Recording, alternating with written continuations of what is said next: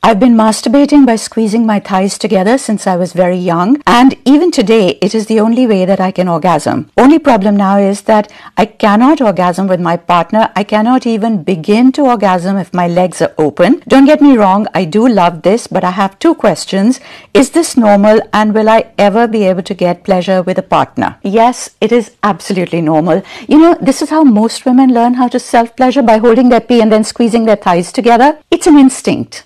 Basically, when you squeeze your thighs together, it puts pressure on the clitoris and that automatically produces pleasure. So, young girls will start doing this even before they consciously become aware of their own pleasure. And it is so satisfying that most women will continue to do this for the rest of their lives. And now for the second part of your question about whether you can get pleasure with your legs open. Yes, it can be done, but you have to teach your body how. Think about it this way if you have been getting pleasure for years by squeezing your thighs together, you can't suddenly change that to experiencing pleasure with your legs wide open because your body just doesn't know how to respond to that. So you have to teach your body. So, for instance, if you're trying other masturbation techniques, then try something where you can open your legs just a little bit more each time. Just if you're with a partner, then you need to try positions where your legs will remain closed but not squeezed together. Like maybe if you are lying on your side or something. It's just about getting the body used to something different a little bit at a time. But the most important thing to remember is that